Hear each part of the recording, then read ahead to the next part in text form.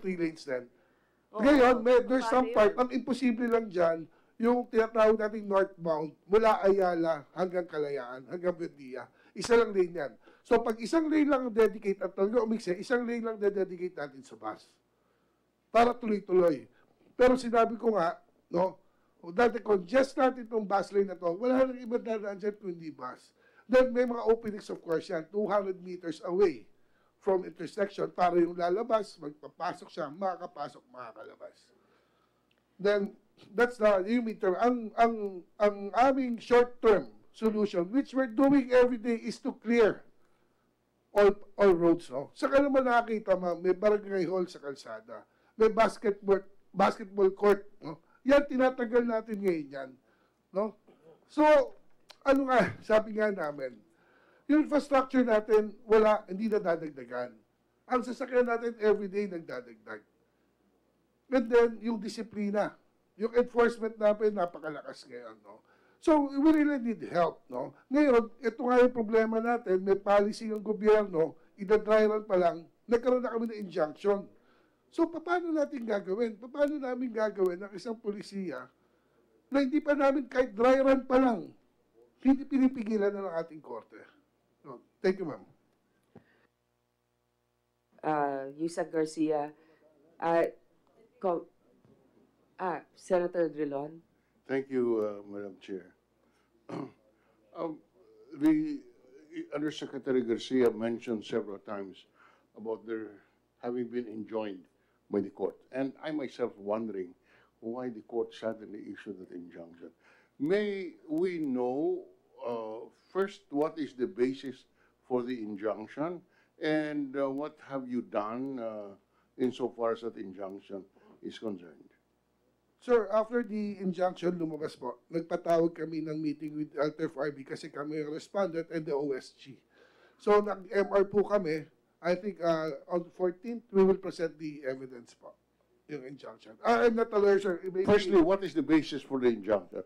Is it violation of the uh, franchise of uh, this, uh, of, of- the bus lines using uh, EDSA? First, we would like to know what is the basis of the RTC uh, in issuing the injunction? Uh, Good morning, Your Honors.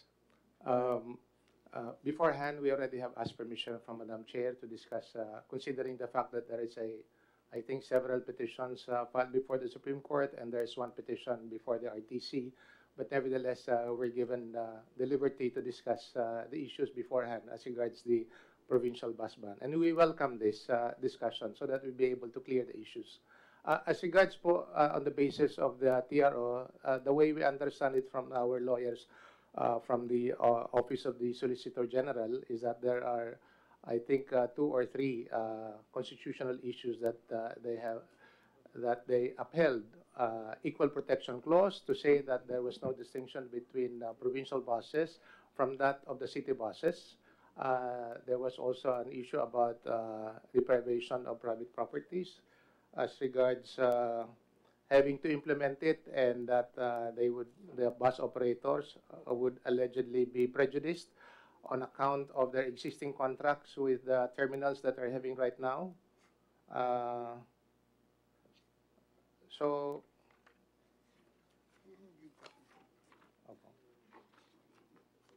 We are referencing to your notes. I would like to remind also our resource persons that the Senate is not barred from discussing cases.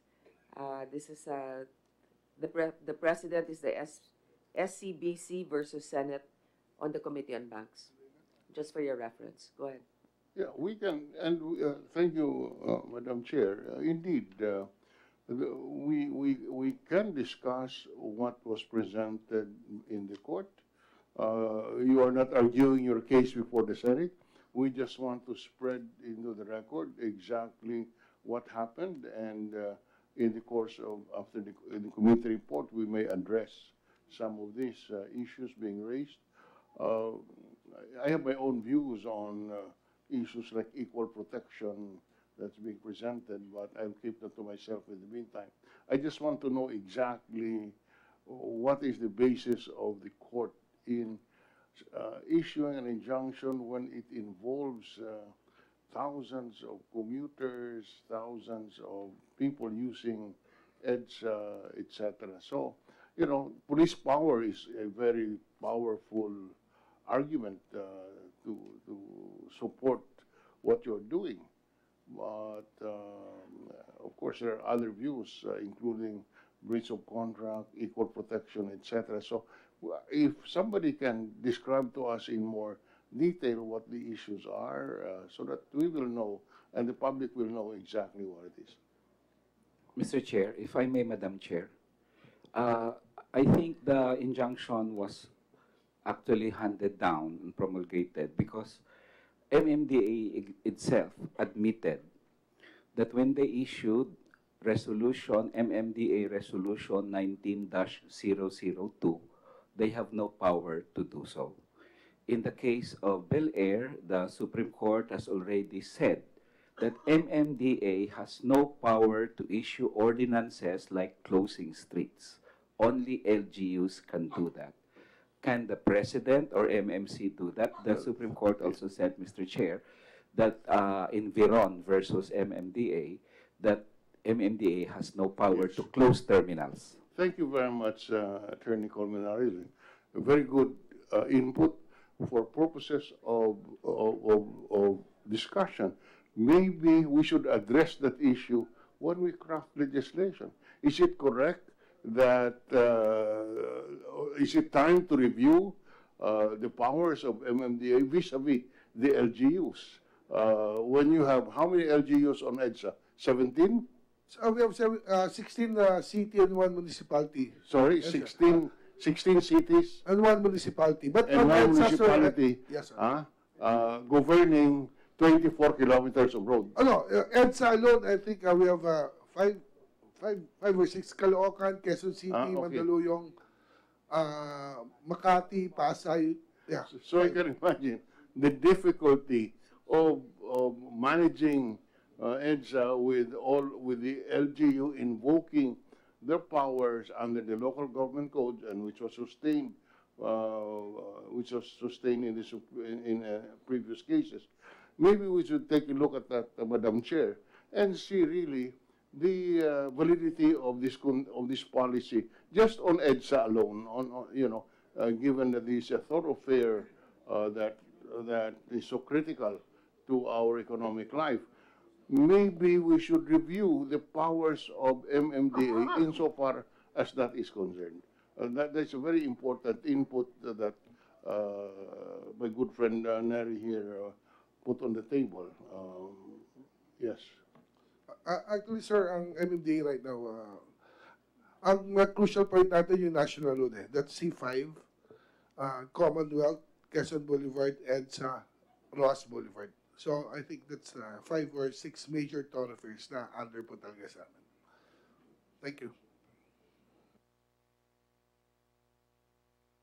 So, yeah, yes, even, but just even five local government units uh, would have their own uh, views of how to manage the road.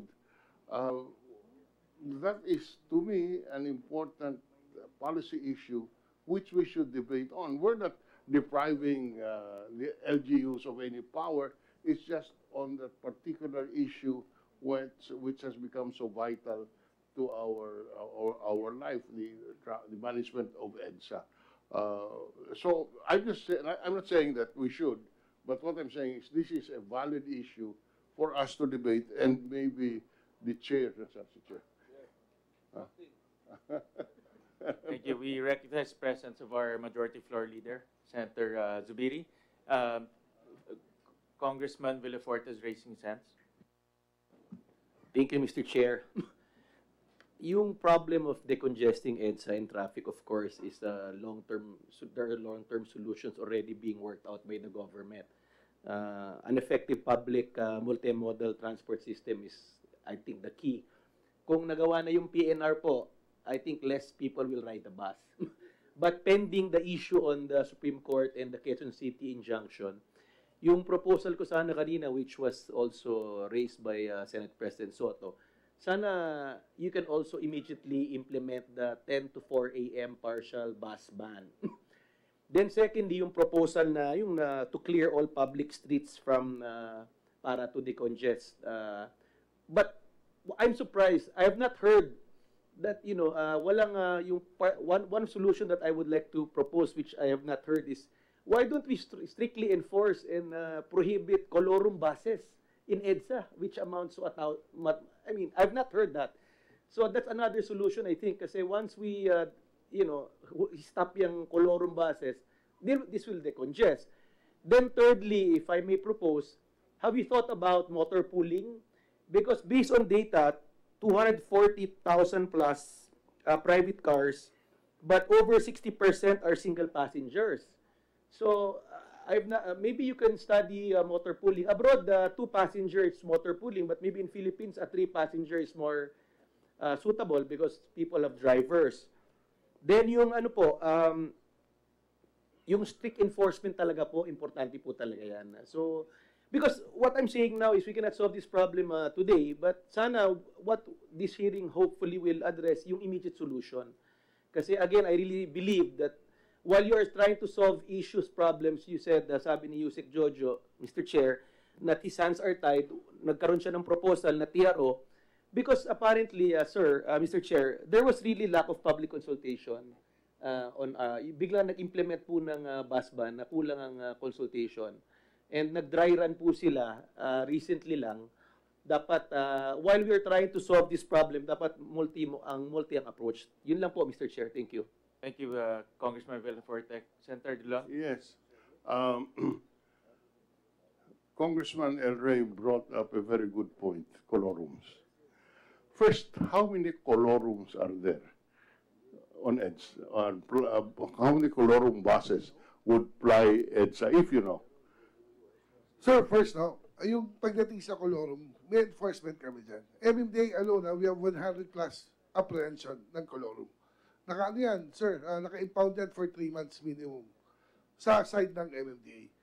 So, yung Colorum talaga ginagawa namin yan. Kung meron pa man, ah, I think we need to make some measures, mga GPS, gawin yung technology. Kasi minsan yan yung kambal plaka, pag lumagpas na, no? Sabi ko, pero ano, intensive po talaga yung pag ano namin ng Colorum. Would you have a record of the owners of these colorum buses? Ah, I'll defer. Yes. Mr. Chair, if you may, I, I, based on uh, data, I think there are over 1,800 uh, colorum buses flying. That's 1,800. based on newspaper reports. Oh, so not I- only I. 300, I don't know. not only 100, but that is apprehended. of Every 1,000. month, sir, every month. Including UV Express. Every month may apprehension po kami 100 Is the, this data of Congressman Villafuerte correct? I don't know. It's LT Farmers. ano, sir. 1,800 colorum buses? Uh, I would not know with all due respect to Congressman Yeah, Verde. I would not know the exact number and no one would know the exact number. Assuming half of that. Uh, but so far as uh, so far as the uh, colorum buses along EDSA are concerned, as mentioned by uh, Yusek, Garcia, uh, Yusek uh, Garcia, uh, not only is LTFRB and DOTR working together in addressing colorum, but also together with the established uh, agency under the IAC. Yeah, Uh, so- that is why uh, maybe, uh, you know, we shame them. If we cannot, you know, do we have a list of who these people are? Oh, yes. The indulgence of Senator Yes. Frank, uh, I think the lady has some answers on the colorum. Ah, I am Julia Jesus of the Samahang Transport Operators ng Pilipinas. Regarding the colorum thing that uh, Senator Drilon is asking now, I think wala na pong colorum buses. Ang nagiging colorum buses po is yung mga doble plaka lang. Pero when it comes to yung guidelines and strict implementation of the franchising, napakahigpit po ng LTFRB. Dumadaan kami sa karayom para ho maayos namin ang aming mga franchises. Ma'am, ano yung doble plaka? Ayong kambal plaka po mostly, ah, no offense on the taxi. Marami po yan sa taxi. Yung mga double plate. Marami po sa taxi yan. Ginagamit nila plaka ng taxi. Ah, dalawa po, halimbawa AYB 111, magiging dalawang unit 'yon. Ayun po ang tawag sa doble plaka. Pwedeng nag, nagkakaroon po ng huli ang LTO kung minsan nagsasabay nagsasabay yung sa mga taxi po ito kadalasan. Ah, I'm speaking in sa bases po. Kami po sa bases talaga, siguro, meron man pong kolorum na nag, nagdi-dispatch sa late in night, eh yan po eh talagang, kumbaga eh, nagtatago na, parang multo yan, up to 3 a.m. o 4 a.m. in the morning. Pero when it comes dun sa talagang regular hour po, parang wala na po ako talagang masasabing merong pang kolorum. Thank you po. Well, uh, Madam Chair, well, uh, I don't know where my good friend, uh, Deputy Speaker Villafuerte got his figure 1,800. But anyway, Madam Chair, while you were out, uh, I, I proposed that we review the powers of the MMDA insofar as traffic management is concerned. Because, uh, and, and, and, uh, I think uh, we can have a good debate on that. Uh, it's, uh, it's about time that we review, given the chaotic situation, because it has been brought out that uh, the reason for in- the injunction correctly is that the MMDA admitted that they had no power, that the power belonged to the LGUs. And therefore, maybe it's an opportunity for us to review this uh, particular aspect, because otherwise, uh, uh, the implementer is hamstrung by the uh, lack of authority as found by the, by, by, by the courts. Senator Drilon, ac- as a matter of fact, I was, I mentioned it earlier, that since we expanded the definition of Metro Manila to include Mega Manila, Rizal, Cavite, as well as Laguna, that perhaps we should really look into the mandate of the MMDA. Thank you for pointing it out also, sir. I'd like Madam to Chair, acknowledge. Madam I- Chair, just, just, just uh, before we move forward, and I'd, I'd like to associate myself with the uh, uh, observations made by our minority floor leader. If we could uh, at least hear from, from, from MMDA, what, what's their point of view regarding this particular issue? Because as mentioned a while ago, there are only about, what, six or seven cities na tinatamaan po ng EDSA. And if you are to, to, to say na you are asking for for for at least uh, some sort of power to ensure na ma-address natin yung problema na ito. Do, do you support that? I mean, Senator Dillon uh, already mentioned about the importance of discussing it as we need to do our job. In this particular hearing, we wanted to make sure that after the hearing, after this uh, uh, public hearing, we'll be able to come up with uh, um, uh, to aid us in legislating measures. So, would you support that? Would you say that you need it? Because as you mentioned, wala ho kayong powers. Ito yung nag, nag, nag, nag-pull back sa inyo para implement yung uh, gusto nyong i-implement. Is that, is that what you're saying? We just wanted to hear. Before we listen to the answer of Yusek Garcia, include in your answer. Senator Soto. Thank you very much, uh, Madam Chair. Uh, include in your answer a response to what we just heard. This is a very serious matter. Wala raw koloro? Ah, Diba? sir. Oh, so, please. Uh, regard sir sa EDSA, no, yung bus, talagang wala na eh. For, for us, ha. Baka sa probinsya, madami. Pero sa EDSA per se, if, ah, kung meron makakalusot, sabi niya siguro ni Ma'am sa gabi, no? Pero wala na talaga. Ang madami kaming nahuhuling kolorum, UV Express. Okay, uh, Yusek Garcia, sandali ah. Magdadagdag lang si Alex Yage ng provincial buses regarding colorum, sir. Ah, ah, good afternoon, ah, Madam Chair. Ang ah, colorum po kasi, may definition po yan. Ang definition po ng colorum, as per ah, LTFRB, ang present regulation po, yung ah, unit nakarehistro po ng ah, ng ah, ah, white plate, yung ah, ano po, private po siya. Tapos ginamit yung pampasayero. Yun, yun po talagang ah, died in the wool na col- colorum yun. Kasi white plate, ginamit mong public car vehicle. At second definition po ng colorum ng LTFRB, ito po yung yellow plate, yellow ang plaka po niya, pri, ah, ah, meron yung franchise yan, kaya, kaya, kaya lang po, hindi siya dumadaan doon sa tamang prangkisa niya. Dumadaan po siya sa ibang linya. Out of line ang tawag po doon. Pero ang definition po niyan, do- doon sa Joint Administrative Order ng LTFRB, LTO, o, o ah, nai- 17-001, no? Ang definition po noon, coloring din po yon. So, ang, ang binagit po ni Ma'am Juliet, ah, regarding Metro Manila po. Ang MMDA po, nag, nag-implement na po sila panahon pa ho ni Chairman Bayani Fernando ng tinatawag nila na ah, organized bus route system. Ito po yung mga terminal ng sa Metro Manila. Meron pong sa Navotas, sa doon sa ah, Amalanday, Fairview.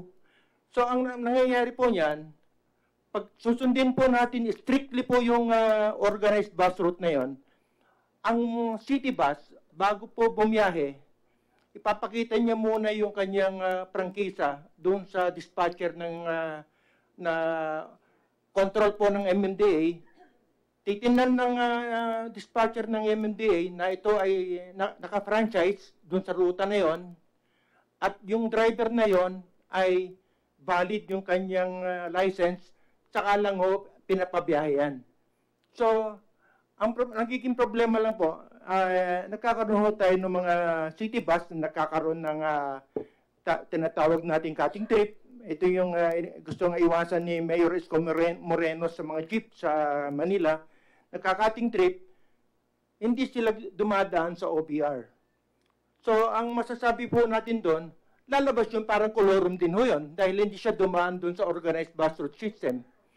Doon naman ho sa provincial buses po, ah, let's say, example po, bibigyan ko po ng example. ah, galing po kayo ng Quezon Province.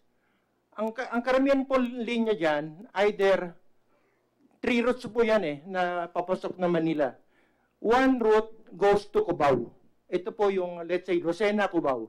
The second route, Lucena to Pasay. Ito po yung Bendia. Meron pang isang ruta galing din ng Quezon Province papunta ng Sampaloc. Ito yung pupunta ho ng Ligarda. Ang nangyayari po niyan, kung meron ho kayong franchise route na, na Lucena, Cubao, hindi ho ninyo pwede magamit yung bus na yon, particular bus na yon, na pupunta ng Bendia. Kahit na ang haba-haba na ho ng pila doon sa Lucena, hindi ninyo pwedeng gamitin papuntang ah, Bendia yon kasi ang linya nun hanggang Cubao lang. Okay, Mr. Yagi, maraming salamat sa pag ah, di-define ano ba talaga yung colorum, ano? May iba't ibang klase. Ah, Yusek De Leon, nagtataas kayo ng kamay. Ma'am, uh, what we fail also to highlight is uh, we have currently around 4,000 city buses in EDSA, flying EDSA. Unfortunately, these 4,000 buses are operated by at least 130 operators. Imagine that, sir. Along a certain route, 130 operators are competing for passengers. In other countries, ma'am, we only have one or two operators sa, sa buong syudad na yon. And uh, what we what we are pointing out is that we will need to rationalize our bus operations. We will need to have a consolidated bus operations para mas maging efficient itong ating bus transportation system. If we can uh, help the executive, ma'am, and uh, the leg- legislative para to push for this consolidation of franchises along our uh, city routes. Um, uh, So, baka naman ang mangyari to. So, iisa o dalawang kumpanya lang ang magpapatakbo. No, no ma'am. Uh, we will ask them, the existing bus operators, to consolidate into Okay. one uh, or two uh, bus kasi operators. May mga oras na walang laman ang mga bus. Exactly, Diba? Kung Yes. kailan kailangan sila, nagkukulang. Diba? Yun, yun din yung nangyari. Meron din akong, ano ah, may, merong katanungan si Senator Angara. Tama din yung tanong niya. Nais kong tanungin din, bakit niyo pinapayagan na yung mga bus, siguro itong mga HPG, kung kayo ba yung in charge dyan, bakit sila tumitigil kung saan-saan para magsakay at magbaba ng pasahero? Sige. on an- another note, ma'am, is uh, if you may, um, yung mga bus stops natin, we will need to really uh, organize and uh, build uh, appropriate bus stops para yung mga pasahero and yung mga buses natin, doon lang talaga sila titigil. Unfortunately, we don't uh, have a budget right now uh, to build this uh, appropriate bus stops para we can really enforce uh, this uh, Have you have you determined uh, the most the the most appropriate bus stops? Kasi kung maglalagay kayo ng mga linyang gano'n, dapat alam niyan. Uh, Yusek Jojo. Ah, ma'am, actually, I already coordinated with DPWH. Sabi ko nga sa kanila, kailangan baguhin na natin itong mga bus stops natin kasi kadalasan nasa choke points. So, then regarding sa sinabi nyo, bakit pinapayagan? Hindi namin pinapayagan, ma'am. Ang dami naming huli. So, nasa 20,000 yan. Yung tinatawag naming open door policy. Ibig sabihin, pag nasa second lane ang bus, nagbukas ng pinto, may bumaba o sumakay dyan, hinuhuli ng camera yan. Madami kami yan. O kaya nagbaba, nagsakay ka sa hindi loading and loading base, hinuhuli rin namin yan. No? So, yun. Yun? yung sa Colorum, no, out of line, uh, katatext din lang po sa engineer namin, ang dami rin namin huli ng out of line. Talagang Madam wala Chair, silang Madam Chair, kadala if I may just, uh, uh, just, Yes. just, just a few seconds, Madam Chair. I think we should not limit the, the discussion of colorum to Yes, buses only yes. because you yourself, uh, Yusek Jojo, made mention about the UV Express, Yes, etc. yes. Ang dami ho eh. We're not only talking about buses here. And so, the, the, the numbers that was mentioned a while ago, may, may, maybe, maybe more, uh, Madam Chair. Alam mo, totoo ba na dun sa mga ibang mga ah, terminals, mga interim terminals, may bayaran para makakuha ng slot ang mga UV Express. Parang 100,000 para Yes. makapag-operate. Iniimbestigahan ba ninyo yan? Kasi Ok- pampadagdag din yan ng traffic. Okay, ma'am. Yung sa mga interim, yung sa amin, interim, no? May lumabas dati dyan, may mga sticker, etc. na ito raw hindi hinuli. Yan, the-report kagad natin yan. Pinatanggal natin yan. And yung, ano, yung sa mga interim again, yung hawak namin ng MMDA, no? Nandyan yung mga operators natin. May quit ba ang order ko sa kanila regarding sa terminal fee? Sabi ko, hindi pwede pagkakitaan ang terminal fee. No? Ibig sabihin yung binabayad ng mga bus. Ang, kung gusto nyo pagkakitaan yan, yung dinala naming tao sa inyo, commercial value yan, eh, yung foot traffic eh. So ayaw namin pagkakitaan nila. Mahigpit ng billing ko sa kanila. Sabi ko, sige ninyo, 50 pesos lang eh. Sa ibang private terminal, umaabot ng 400.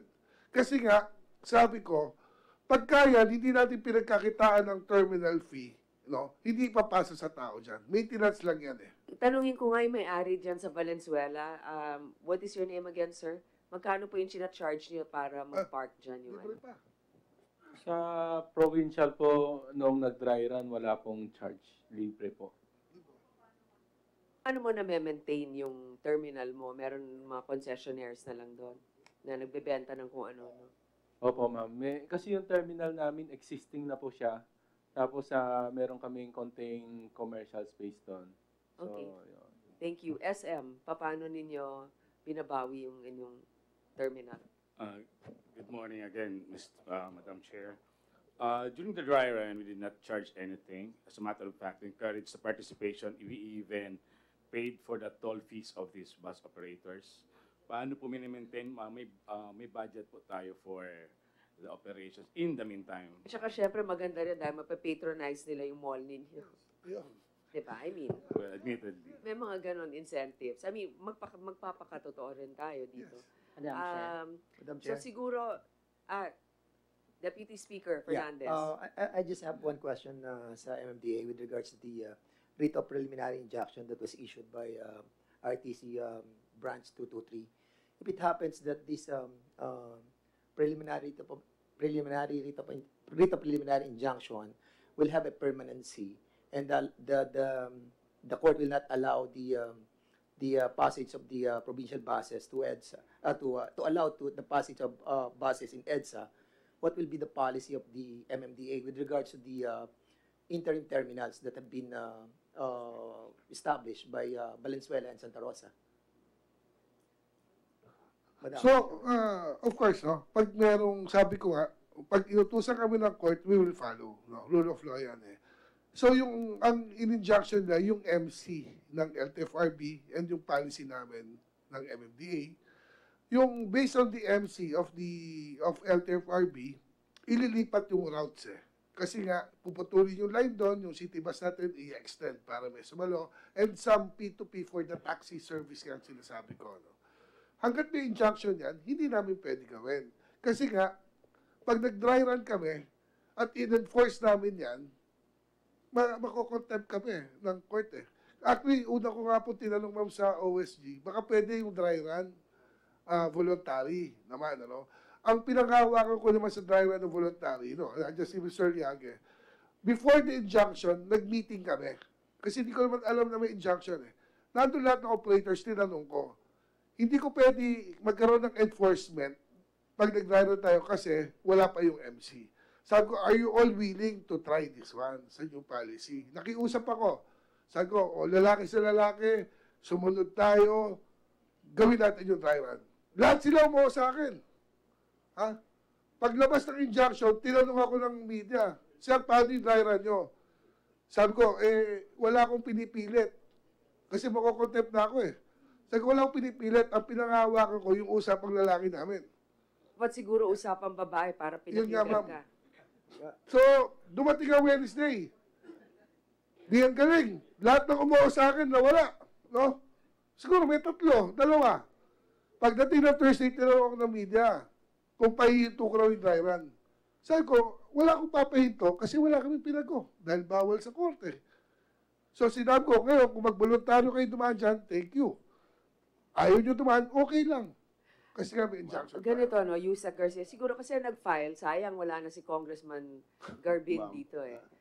Baka naman pwede, aka, at bayan muna, baka naman pwede mag-usap kayo at ma, kung magkasundo sa isang particular scheme, kunyari nga yung madaling araw Yes, yung pag pinayagan ganon, baka naman pwedeng pag-usapan din yung kaso na Ma'am.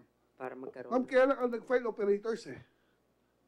Hindi sila eh. Hindi yung mga uh, So, natin kayo? eh. Pwede ba ninyong ayusin yan kung magkaroon ng oras, imbis na total ba? Ah, meron din kasing isang facet nito, yung tatanggalin talaga yung mga terminals Oh, yeah. doon sa EDSA, eh, no? Well, I think that's the direction already of the OTR. No, sabi ko nga kanina, ano ba gusto? We have 97 terminals in Metro Manila.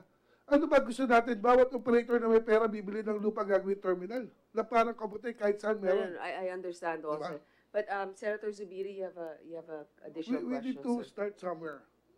I agree with uh, the proposition of Yusek Jojo, ma'am, that we have to start somewhere. Kaya yung nakita po natin sa television ng isang araw, yung Carmageddon sa EDSA, although you were trying to do something new, pero uh, unfortunately, it did not pan out the way we wanted it to be. But uh, dapat out of the box solutions nga. And, and, I, and personally, I feel itong provincial uh, terminals outside of Metro Manila would have been one of the solutions. Unfortunately, may TRO nag-file po sila sa korte. Sana mapabilis na lang yung TRO at ma-discuss po yung merits of the case kagad para sa ganun, may mailabas po tayo na na options para sa ating mga kababayan. Yung sa colorum issue, Ms. Madam Chair, it's an issue of lack of enforcement also because if it's colorum, mahuhuli, dapat tuliin. Wag, da, wag tayo ma, ma, ma, maawa at mahiya dahil yun nga, nagdadagdag po ng sasakyan kung saan dapat hindi madagdagan na. On the lack of action, also, Madam Chair, I just want to raise this. Nandito yung MMDA at tama sa wala yung chairman po.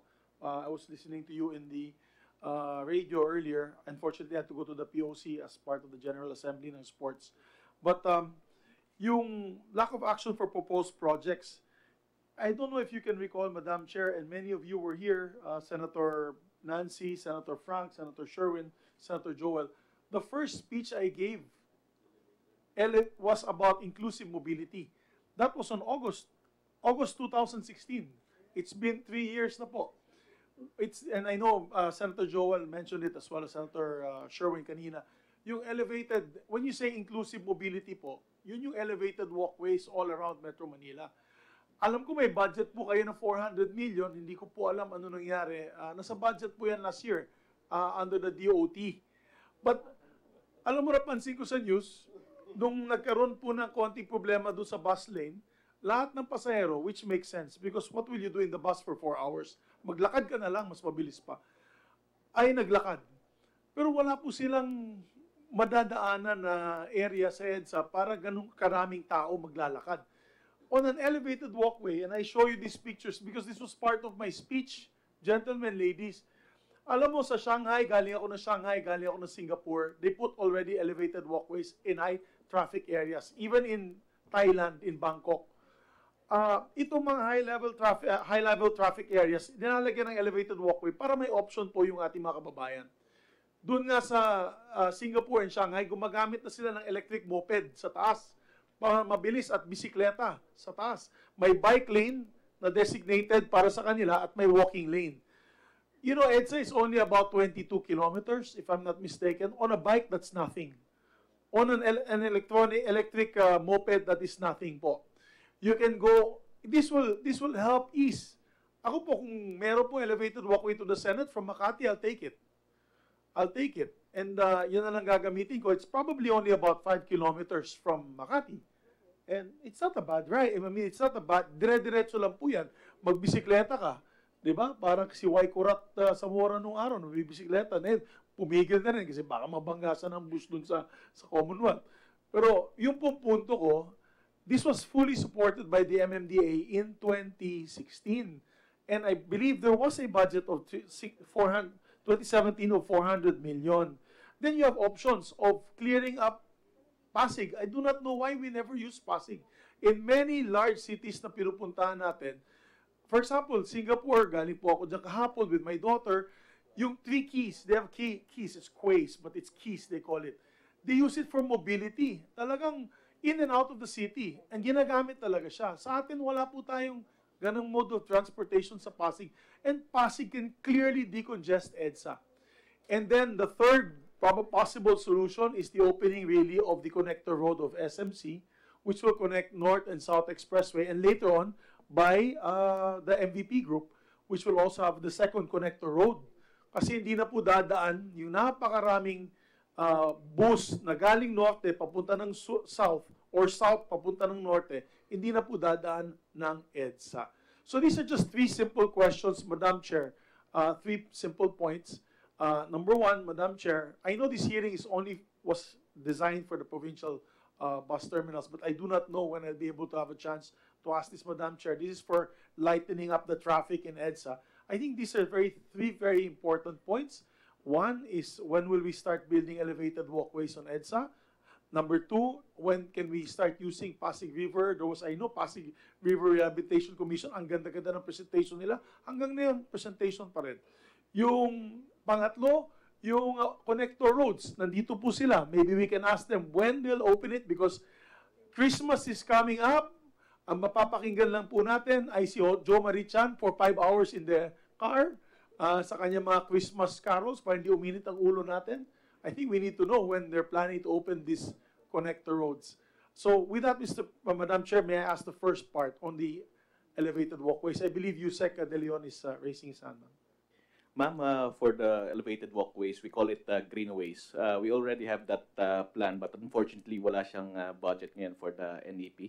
Uh, so if uh, the House and the Senate can help us uh, fund that uh, project, it will really uh, greatly help uh, mobility options of our commuters, specifically for uh, our uh, uh, MRT stations. It really lacks accessibility uh, infrastructure. Uh, nakita niyo yung uh, banda sa ATB, uh, yung uh, dadaanan ng uh, tao, halos ganun ng kanipis.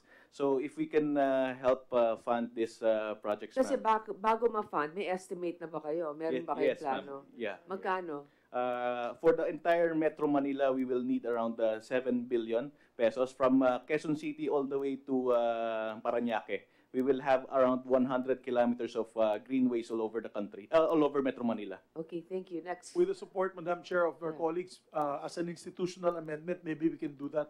Uh, make it a legacy of this administration na magkaroon na talaga ng walkways, elevated walkways. And then uh, on the second uh, part on Pasig, wala talaga tayong planong gamitin ng Pasig. uh, uh, as, at saka hindi yung maliliit po na mga baroto, yung mga maliliit na nakikita namin sa Iloilo yan, mga gaket, yung maliliit na small boats. Baka maganda siguro yung katulad sa Europe na covered, the air condition sa loob na malalaki, magagamit parang bus. Sir, sa Pasig naman, Pasig River, yung sa ferry, nag-alam ko sir, kami bid lang noong December nung FS. Ang nag-timon kasi dyan sir, ang DBM and uh, DPWH and kami, and DOTR. So talagang may plano po sila, no? I-improve yan. Ah, di ba? Nabid na yung FS, no, Mark? Nung December, nabid, kami bid lang ata nila. So hanggang feasibility study pa. Again, no? we're waiting for it. Hindi naman kami pwedeng gumalaw ng while, while Alam mo, hindi na kailangan ng feasibility study yan, Yes, sir. Yusek. Yes, sir. Biyahe mo na lang sila sa abroad para makita nila. Singapore lang, lapit Tama. lang. Oh. Tama, sir. Para makita lang. It's it's a clear present program in many major Yes, sir. cities. Yes, sir. They use the waterways. Walang traffic doon. eh. Uh, actually, sir, ang plano nga namin nung una, nung pag kami, sa MMD kasi kami may hawak ng ferry, ah sa amin lahat nung pier niyan eh. We have 20 plus piers, no? Then we asked the LGU kung saan nila gusto ilagay yung pier kasi mas kabisado nila yung LGU nila, no? Sabi ko nga, no, ng proposal ko, baka pwede, yung mga ferry, parang bus na lang, So magkukuha ng prangkisa sa, ma- sa marina, tapos magmumuwa lang kami na pwedeng daanan yung mga pier namin. Through that open ng competition, may improve nila yung service. Limited number lang po kasi Yes. baka naman magka-EDSA din yung Yes, yes. Pasig River. Tama, At baka sir. magkabungguan pa sila doon. Pero Eh, doon mahirap mag-swimming dahil pag, pag ah, tumalong ka sa Pasig River, sigurado magkaka-cholera ka eh. Ka- Kaya- pero kasama po raw sa DBM ngayon ng study yan. Kinuha po nila yung ano eh, yung ano yan, yung pag-aaral po. You can privatize it. That's absolutely correct. Once Yes, you sir. get the terminals going, kayo maghahawak ng terminals. Yes, as long as hindi lang, uh, again, magkakaroon ng overcrowding dun sa sa Pasig. Meron lang yatang no passing area sa Mer- Malacanang. meron po ano, mabagal lang po dapat. May speed, Sa Malacanang. speed limit pa. Yung sa may Malacanang ano pa. On, Yeah, on the with third the- issue, ah yes, madam. uh, our Senate Majority Floor Leader. If I remember it correctly, may nag-operate na niyan eh, Yes, ng Pasig Ferry. Hindi, malaki yun ah. malaki. Air, aircon yun. I think during the time Aircon of siya? President Era. No, MMDA ran it. That's why it kind Yes, of like yes, Hindi yes, ba sir. aircon yung inoperate nyo? Aircon yun, di ba? Not, not us. Meron pong atang pumasok dati. Dati.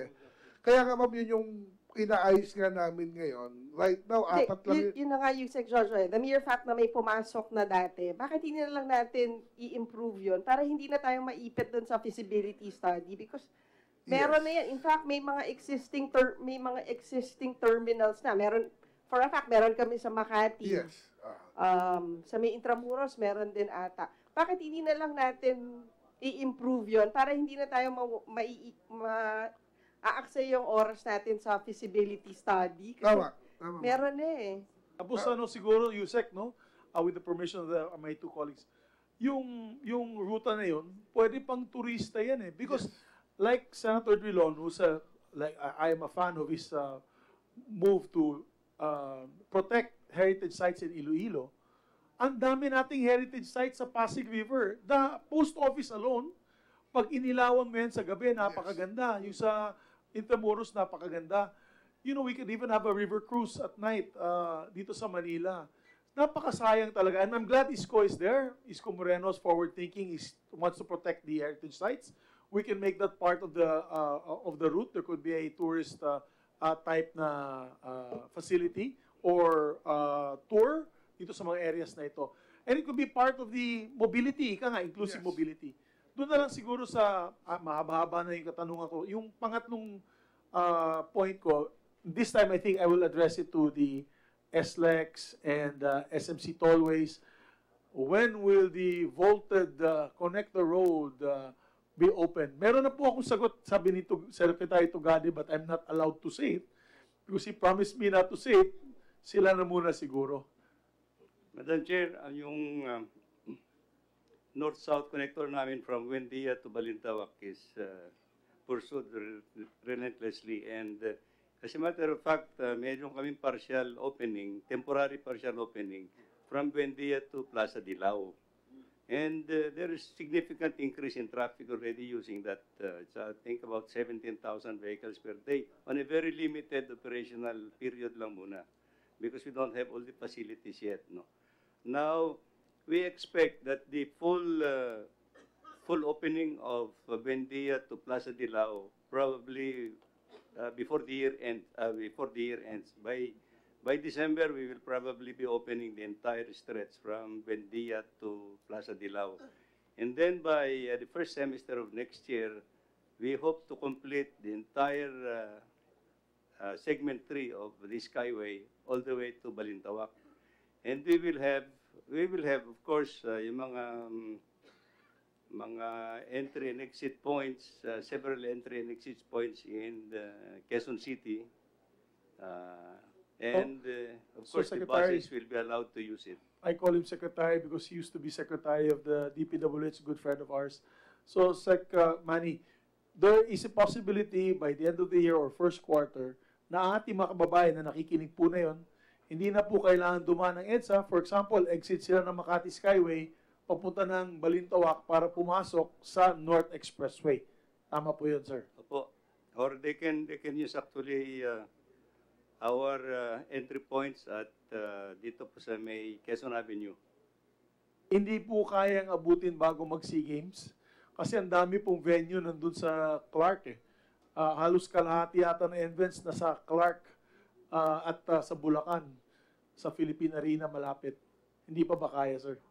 We'll try our best po. Uh, well, uh, my, uh, our timetable namin is actually, uh, best, best bet namin is anywhere between uh, first quarter or second, second quarter of next year. And uh, Tama. ang projection ho namin kasi dito, Madam Chair, is actually, if we are able to complete and open the entire stage three of uh, the Skyway, we're expecting that about 30% of EDSA traffic will go there. That's fantastic news, Madam Chair. 24 hours ba yung shifting ninyo doon ng trabaho? Yes, yes, 24 hours po. Madam Chair, paano yung sa grupo ng MVP? I, I know Metro Pacific also is trying to put the second connector road. Meron bang taga MVP group dito? Wala ata, no? And maybe that could be just for another hearing. And to close my my my line, my train of thought, Ms. Madam Chair, is basically yung uh, provincial bus companies or the provincial terminals sa USEC, anong plano ba dyan? Will it be a PPP uh, or gobyerno magtatayo ng mga terminals na yan? Yung permanent po, I think, uh, DOTR po makakapag-sabi niyan. Pero yung sa aming interim, ayun po, yun lang po yung na-identify namin sa ngayon. DOTR, uh, sir, is it uh, uh, private or public? Uh, Sir, yung uh, ating uh, tagig, it's the government who owns the land and uh, the concession agreement was signed during the last administration. Private sector will build the, and operate the terminal. Yan po yung nasa tagig. For the North Luzon uh, Expressway, uh, yun po yung ilalagay natin sa Bukawi area, dun sa Ciudad de Victoria area. Uh, it's an unsolicited proposal. Currently, it's uh, being discussed in NEDA for the final approval of that uh, unsolicited proposal project.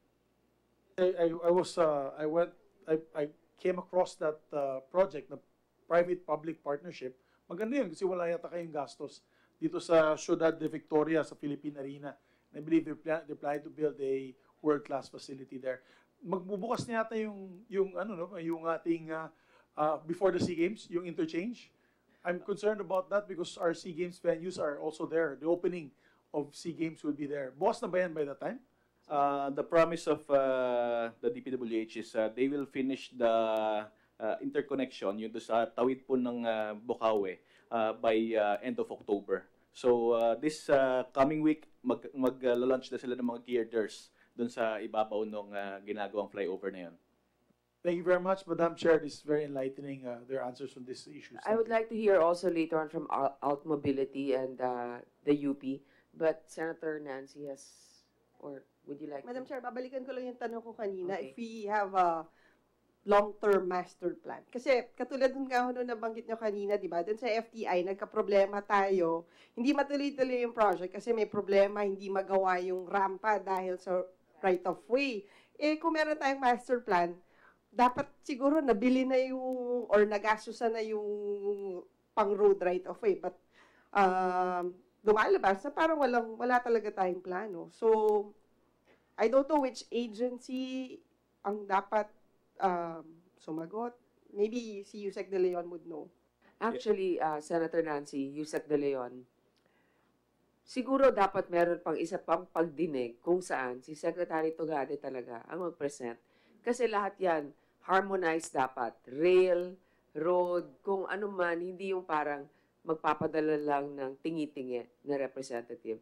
So be ready with your presentation for your short-term, mid-term, and long-term solutions for traffic.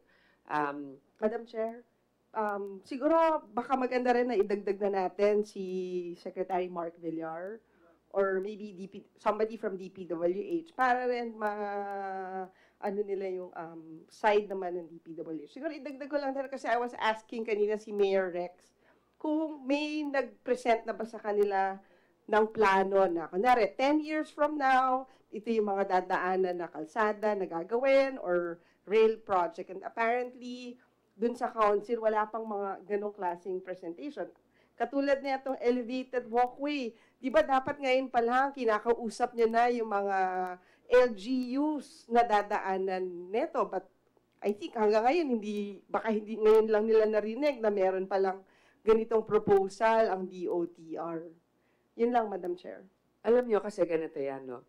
yung mga solusyon dun sa traffic na sabi nga 30% hindi dadaan ng EDSA, NLEX, SLEX connector road, LRT1 extension, uh, bus terminals ng FTI pati dun sa north. Yun lang makikita mo na makakagaan kahit papano sa traffic, di ba? Hindi kailangan ng emergency powers para dyan. Kasi pag sinabi ninyo na may emergency powers, anong gusto niyo? Walang bidding? Yun ba yon? O pangalawa, anong gusto ninyo? Hindi ninyo makakwestiyon ng korte? Hindi po yan matatanggal ha, sa emergency powers. Papasok pa rin ng korte sapagkat sa konstitusyon natin yan eh. Separation of powers. Hindi talaga pwedeng ma-eliminate. So, kung meron kayong kailangan, kailangan maayos at specific kung anong plano ninyo. Para kung makakatulong kami, katulad niyan, palalawigin ang kapangyarihan ng MMDA, bakit hindi? 'Di ba? So, siguro, ah, mawalang galang sa kanilang napaka-busy schedule. Pero yung ating mga kalihim at yung ating chairman, siguro naman sa susunod ay makakadalo dito. Sapagkat ito lang ang venue na naririnig ng tao kung ano ba talagang plano ninyo. Dahil dun sa mga hearing ninyong maliliit na ganon, eh hindi naman nasisiwalat lahat ng direksyon na pinatutunguhan natin. Okay, out mobility. Madam Chair, siguro isang tanong na lang kay Yusek Garcia. Since na TRO nga ho itong provincial bus ah, na, na plano nyo, what is the next plan? Okay, first, doon po sa provincial bus, I'm very confident na pag nag-MR po kami, mag-grant yan. No? Kasi nagtataka kami, hindi pa kami nakapag-present ng ebidensya, may injunction kagad. So we're really hoping no, and praying na yung legal team namin will, will ma, ano, kakayanin namin yan. No? So while waiting for that, uh, talagang nakatali po yung kamay namin tungkol sa mga provincial bus uh, ban na yan. What we're doing is really every day to clear all alternate routes. No? Kailangan namin linisin yan para madaanan natin. So, yun pa lang sa, sa ngayon. No? And then of course, yung mga long-term, which DOTR and DPWH po makakasagot yan. Ang MMDA po talaga enforcement lang kasi kami, no? Talagang ultimo pagtataas lang ng traffic fine, eh. Dumadaan kami sa butas ng karayom. So, we're just waiting for that. At uh, yung aming mga, may mga plano pa po kami iba. Katulad ng tinalong kanina ni Kong El Ray tungkol sa mga carpooling. Lahat po yan meron. Pero matatandaan naman natin, di ba? Uh, I think that was last year, inintroduce lang namin yung carpooling, may resolution coming from the Senate to stop na pinapaito kami without even trying it. Eh. So, yun. Yun po yung mga plano namin. I believe Attorney Del- Delga, go ahead, sir.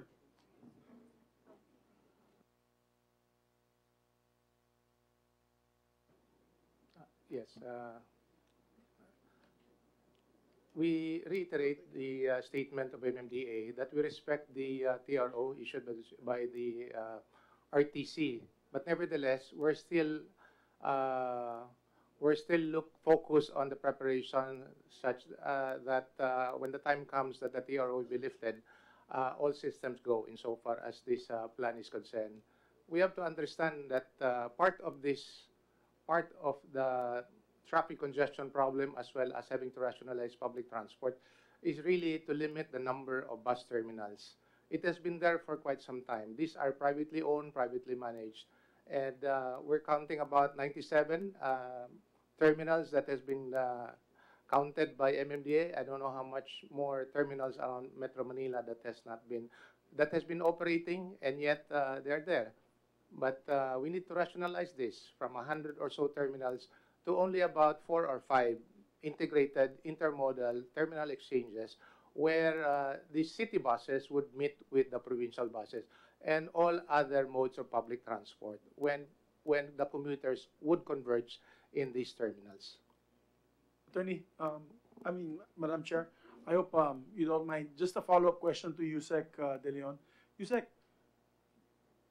if by some stroke of luck, I convince my colleagues during the budget hearing na dagdagan yung budget ng DOTR for this purpose, can you implement it? Kasi sayang naman po, magsa-slash po ako sa ibang ibang department, agency, para maidagdag yung sa inyo. Kaya nyo bang patayuin ang elevated uh, walkways na ito? Mr. Chair, yung uh, elevated walkways natin, it does not require uh, very complicated designs. Madali lang uh, gawin yan. So, mas mada- madaling uh, gawin. Uh, uh, compared to uh, very complicated structures, kaya na gawin in less than uh, two years.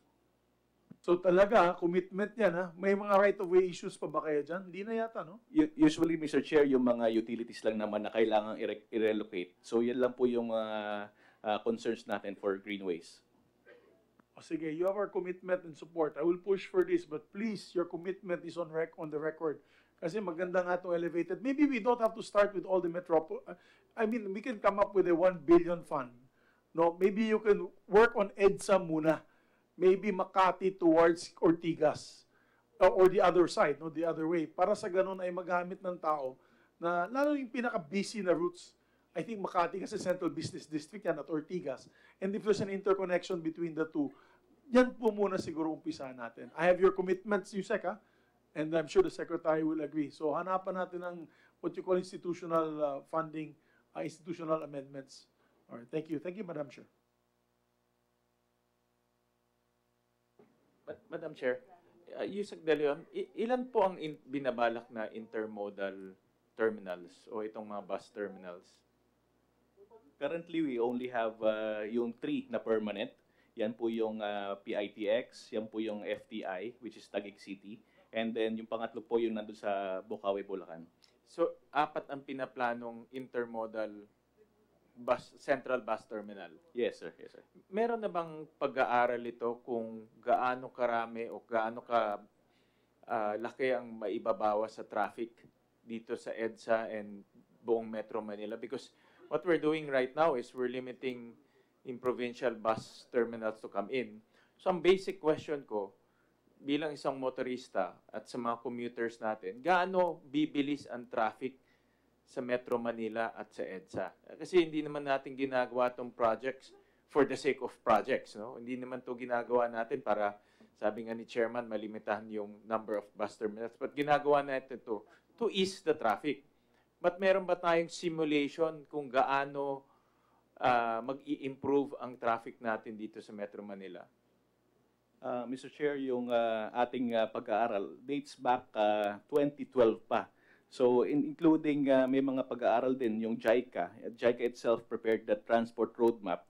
Uh, also specified na magkaroon tayo dapat nito mga intermodal terminals. With regards to specifics kung uh, ilan yung impact niya, I'll uh, defer to uh, uh, GM Jojo on ang impact niya sa traffic.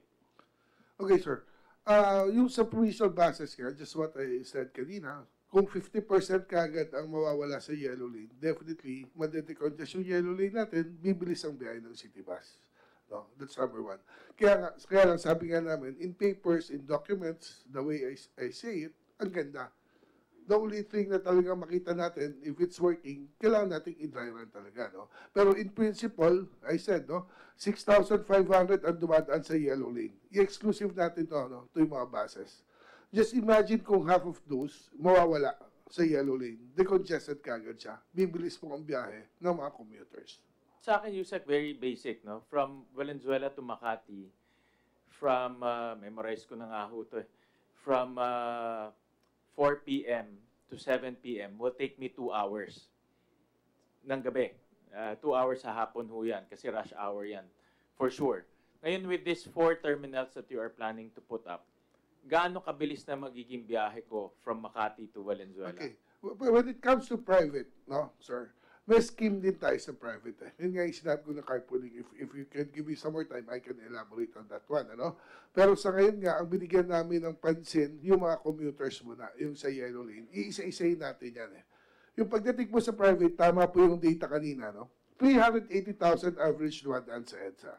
Mga 66% yan private cars. So mga 245 to 50,000. 70% yan mag-isa. So, 175,000. No? Sabi ko nga, mag-carpooling tayo 2, 2 or more lang. No? Kalahati lang ang mag-complain yan, 85,000 kagad ang mawawala. No? And we're just asking 3 hours in the morning and 3 hours in the afternoon. That's 6 to 9 and 5 to 8. Ngayon, ang naging kontra dyan, challenges, sabihin, ililipat lang na, natin yung traffic sa iba, sa C5. Yeah, it's true, no? Kaya lang, ito yung incentive mo if you're gonna do carpool, then pwede ka dumaan sa EDSA during those hours. No? Ito, sir, as eco- economics, makakatipid tayo sa gasolina. Makakatipid tayo sa maintenance. Then, ang pinaka-importante, mababawasan ng pollution natin kasi babawas. No? So ngayon, yan talaga yung realidad eh. No? Yung, yung sinabi kanina na uneven scheme color coding, ano yan eh, hindi yung effective yan eh. Sabi ko nga, gusto lang magpapogi ni chairman, bukas mag-uneven tayo, 50% mawawala. Kaya wawa naman yung papalit sa amin 3 years from now, 5 years from now, times 10 na yung kotse, walang garahe lahat. So kailangan eliminate natin, hindi yung kotse mismo, yung nakasakay, para kahit sampu ang kotse mo, mag-isa ka lang, hindi mo pwede gamitin. No? Pero Yusek, very basic lang. With these four terminals, gaano kabilis ang ah, magiging biyahe ko from Valenzuela to Makati and vice versa? Very basic lang. I, am, I just want to For- know kung yeah, for- tayo yeah, dahil for- all of this um, naman we're yes. doing because we want to ease traffic. Yes. No? And So- I assume may simulation tayong ginawa. Yes, sir. Sabi ko nga sa computer, mabilis. Mababawasan ka mga 20-30% ng travel time. No? So Sa from 2 computer. hours, mababawasan siya Yes. ng 30 minutes? tao, ito ang target nga natin, sir. Pag napaluwag namin yung yellow lane, we're hoping na yung mga nagdadala ng kotse, no, magbubus na lang kasi mas mabilis ang biyahe nila. Kasi nga, decongested ng yellow lane. Mababawasan ng kotse.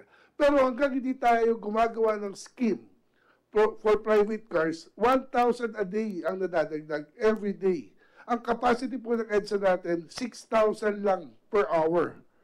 No? Ito yung bumper to bumper. Gusto mong tumakbo yan, 4,500. Ano yung mga scheme na hinihingi namin? Number one. Madami lang magagalit, no? Yus, Yusek, maputo lang kita, no? Because uh, ay- mayroon pang ibang magtatanong. But on the on the next, may next hearing tayo, I want to see that simulation. Yes, sir. Yes, sir. We- Because we want to also explain sa mga kababayan natin na itong ginagawa natin, bibilisin traffic. No. But we need to also simulate it and Yes, sir. tingnan natin kung gaano kabilis yung traffic uh, after nitong uh, itong terminal sa tatayo natin. Because at the end of the day, yun ang gusto natin ipakita na maayos ang daloy ng traffic. Okay, sir, may isa kang kami suggestion, no? if, if we may, no?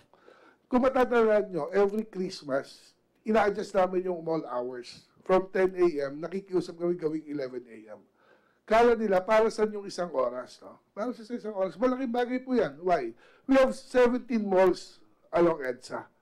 Ang average empleyado niyan, 2 to 3,000. Meaning, more or less 50,000 ang sasabay pa sa rush hour na magbubus, magmumotor, magdadala sa sakyan na nagtatrabaho dyan. Sa unang hour ng, ng EDSA, yung mga malls yan, they have 200 cars na kapila. Imagine that's 3,400 cars ang tatanggalin mo doon sa isang oras na yan. No? Imbis na umalis ng 8 o'clock yan or 7, umalis yan 9 or 10 na kasi 11 na yung bukas eh. No? We need, kailangan nating schedule. Ang sarado ng mall, kahit anong oras, mas late, mas mamoros namin. Para hindi kasabay ng paglabas ng opisina. Kaya lang, talaga ano eh, mahirap, mahirap gawin. Pasko lang namin yan napapatupad dahil nakikiusap kami sa mga malls. Uh, next hearing, uh, Madam Chair, is uh, request ko to show us the simulation. No? we Yes, have sir. to understand Yes, sir. dahil we're not doing this we're not doing this because we want to do it. We're doing it because there's a positive effect to it. No? So yun ang gusto namin maintindihan. Yes, sir. Ah, actually, bago tayo magpatuloy, no, bigyan natin yung ibang sektor ng pagkakataon na mag-ambag rin ang kanilang um, pag-aaral o ideya tungkol dito, yung UP at saka yung out mobility. So yung out muna, kasi tinulungan niyo yung staff namin na maintindihan din yung, yung sige, go ahead. Uh, Madam Chair, first, thank you for the opportunity in inviting the, uh, we're part of the commuters uh, sector. So um, we're uh, a transport advocacy group called Ad Mobility. Uh, for us, first, um, I think we're actually focusing too much on vehicle travel time, which is, I think, just uh, one half or one side of the picture. Um, probably, we should also as a primary concern, we should look at the commuter experience. Kasi hindi lang po traffic actually ang tinitignan natin. Pag traffic lang po, baka maging short-term or short-sighted yung ating mga magiging ah, palisiya dahil po, ang totoong commuter, which is a majority of our people, will have additional ah, pamasahe, um, waiting time. Kung tatlo yung magiging tra- ah, transfers niya, kasama po yun. At ah, kailangan po niya maglakad. Kailangan niyo pong ah, sumakay ulit. So, kung travel time lang po ang titignan, siguro po, para po sa mga dekotse, yun po yung pinaka tinitignan lang po nila. Pero tanungin po natin, siguro po, bababa yung travel time, let's say by 5 minutes or 10 minutes. Pero po, ah, for the commuter, halimbawa, yung titignan lang natin is travel time, tayo doon, lim- limitado na po yung tinitignan natin. Pero tanungin po natin yung mga commuters na dina- dinaranas yung mga polisiya na ginagawa po natin, ano po yung masasabi po nila? Natuwa po, matutuwa po ba sila sa mga policies na uh, pini-implement natin na maaari, kasi may mga kilala po ako at ako rin po ay commuter, ah, nagsasabi na either tumaas ng isang oras yung ah, ano nila, travel time dahil po sa mga bagong palisiya po na ito. At ah, naging malaki po yung focus po natin sa mga bus, kahit po sinabi na nga po na 380,000 po ang dumadaan ngayon sa EDSA, pero 6,500 lang ang sa bus, pero yun pa rin po yung ating pinagpo-focusan. Ah, actually, sa C5, wala naman po masyadong bus dyan, walang bus terminal, pero halos kasing traffic din. Actually, minsan, mas, gus- mas traffic pa sa C5. So, tingin ko po, kung tatanggalin po natin yung mga bus sa EDSA or may mga bus terminal, kakainin lang po ito ng growth nga po na sinasabi nyo, ng pagdami po ng bumibili ng private car. So, ano, ngayon, in the short term, maybe in the less than one year, magkakaroon po tayo ng ginhawa dahil may natanggal tayong mga vehicles. Pero papalitan po yan lahat ng mga bagong sasakyan kung hindi po natin kokontrolin or ima-manage yung pagdami po nila. Ngayon po, kaya po namin sinasabi na mas long-term sana is yung i-prioritize natin sa ating mga metrics instead of vehicle travel time is the commuting experience. Bakit po? Dahil po, pag na-entice po natin ang mas maraming tao na mag-commute dahil mas mabilis, mas komportable, mas maganda yung experience nila, mas konti po yung taong gustong magdala ng sasakyan. And that would be a more effective way, we believe, uh, to reduce traffic congestion and improve uh, overall uh, commuting experience for everyone. As a long-term vision, uh, that's what we think. So as a transport economist po ako, so economist po ako specifically working on transport-related issues, we see that uh, yung public transportation, walking and cycling, as mentioned po by Senator Zupiri, are all more space efficient, more sustainable, and more inclusive transportation modes that we should be prioritizing. Now, if we are focused mainly again on vehicle travel time, okay, mababawasan po natin ngayon, pero in the long term, hahabol ulit ang mga bagong pa-purchase. So, halimbawa sa ibang bansa po, ang ginagawa po nila, pinaparami po nila yung, ah, pinapaganda po nila yung kanilang commuting experience, whether rail, or road-based transportation na to the point na pati po yung kanilang mga public officials or yung mga even CEOs ay okay lang sumakay ng public transportation. So hopefully, ganun po sana natin, parang shift natin ng konti ang ating efforts. Huwag tayo masyadong focused po sa uh, merely vehicle travel time. So as a note po, yung sa uh, proposal po namin uh, in the Senate and also in Congress, uh, nagpo-propose po kami na nag-file po kami ng bill in uh, coordination with Senator Grace po and also with Senator Kiko Pangilinan. Nag-file po kami ng uh, Magna Carta for Dignified Commuting, uh, sort of a commuter bill of rights, which, uh, okay, kung pagbibigyan niyo po akong basahin, some of the key provisions that we have is first, a maximum wait of 10 minutes sa public transportation stops and terminals, and uh, having a travel time of maximum one hour on uh, on public transport from end to end, let's say of EDSA, which is around more than 15 kilometers, and other more long-term solutions. So for us, if we really want a more sustainable solution, we should focus on commuter experience, and uh, that way we will be able to shift our mindset and um, be a more sustainable and inclusive mobility nga po. Okay. Thank you for mentioning uh, the most vital part of this hearing is all, is the uh, the welfare of the commuters and hindi lang naman sila statistics, di ba? On the other hand, ipaalala din natin sa ating mga nandito na actually 80% ng ating mga kababayan walang sariling sasakyan. 80%. Doon sa Mega Manila, 80% po ang walang may sariling sasakyan at nagko-commute. Yung ilang porsyento na natitira, yun yung datos na nakuha natin, sila yung maraming sasakyan. 'Di ba? So, uh, UP muna bago si Mr. Yage ulit. Yes. Uh, good afternoon. Um, uh, Dr. Grace Hammond had to leave, uh, so I'll be uh, reading her statement. No, I'm Toik Serna. I'm with uh, Move Metro Manila. Dr. Grace Hammond is our uh, convener. Move Metro Manila is an informal coalition of mobility advocates in Metro Manila. It organizes consultations and dialogues with transportation experts, stakeholders, and policymakers to contribute to the discourse on and in improvement of mobility in Metro Manila. Ako rin po ay kasama sa isang online group of commuters called uh, Commute. Uh, ilang beses na po kami nakapag-attend ng consultation ng MMDA at LTFRB on the issue of provincial bus ban.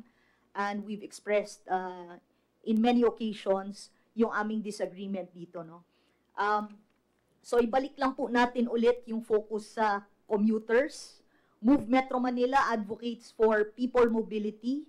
We urge government to look beyond vehicles and prioritize moving people.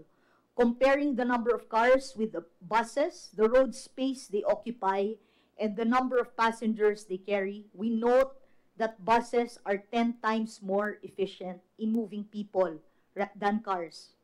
Buses are not the problem. They carry the workers, the lifeblood of Metro Manila's economy. This blatant bias against the poor, those who rely on the public transport uh, because frankly they have no choice, will only hurt the metropolis economy. Uh, a JICA study said already, nabanggit na yung, yung economic cost no, of uh, traffic congestion daily, no, 3.5 billion pesos. Squeezing the bus users who comprise half of EDSA users can only hurt the economy more. The Mobility Coalition conducted an online survey among Metro Manila commuters from August 5 to 9. So isang linggo lang po ito. 21% of the respondents are provincial commuters. They come in the metropolis from Bulacan, Pampanga, Laguna, and Cavite. These commuters have to travel around three hours each way and have to make at least three transfers to reach their destinations. As it is, commute, commuting is already difficult for them. The provincial bus ban will certainly make things worse. In light of all of these, Metro Manila, Move Metro Manila recommends number one, that government focus its efforts on and allocate more resources for the improvement of public transportation to discourage daily car use to work. Every three cars off the road creates road space for one bus that can accommodate 45 passengers.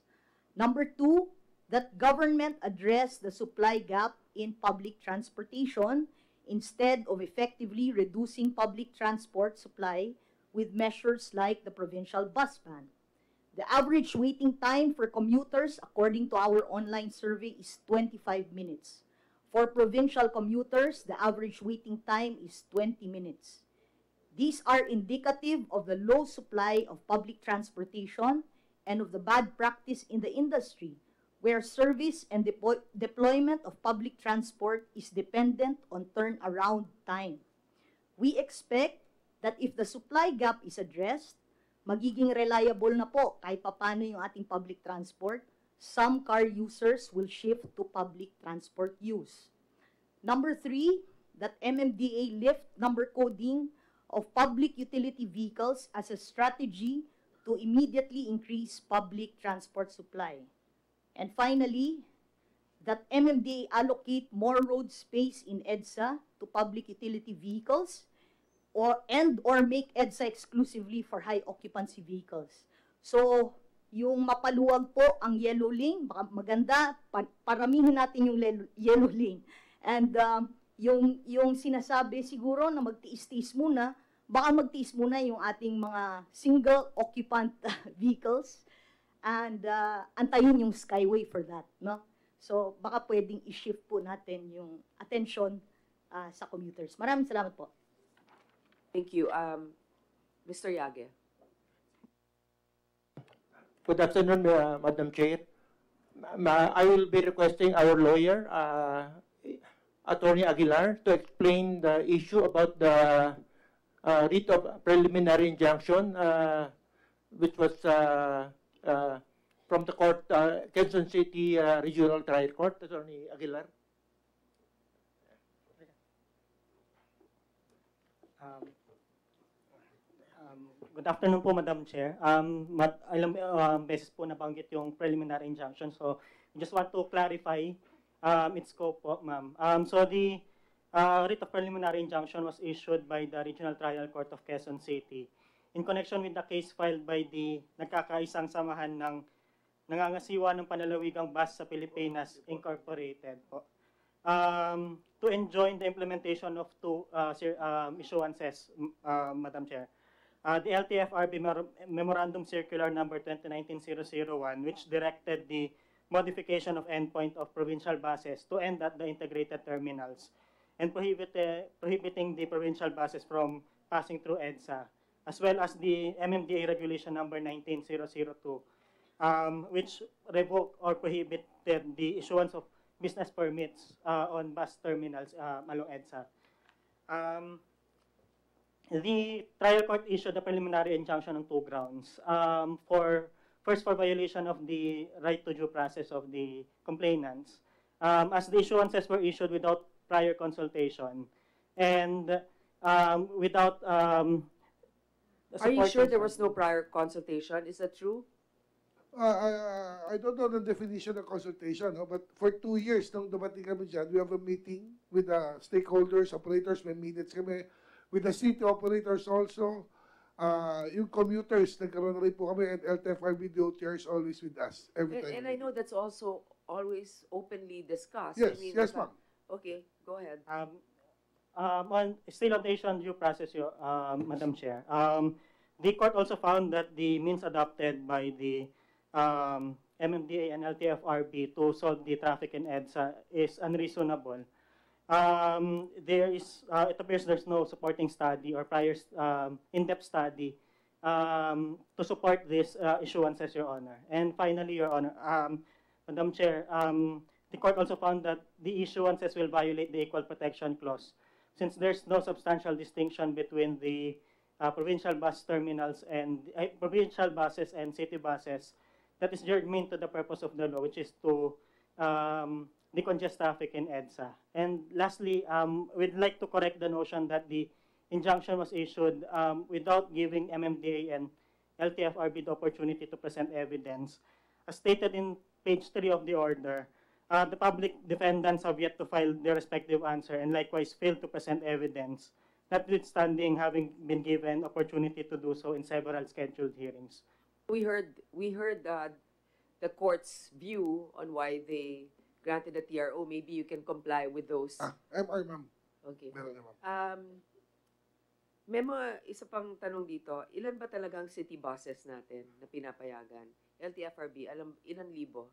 Uh, we're looking at about uh, 3,500, more or less. About the provincial buses, how many? The provincial buses would be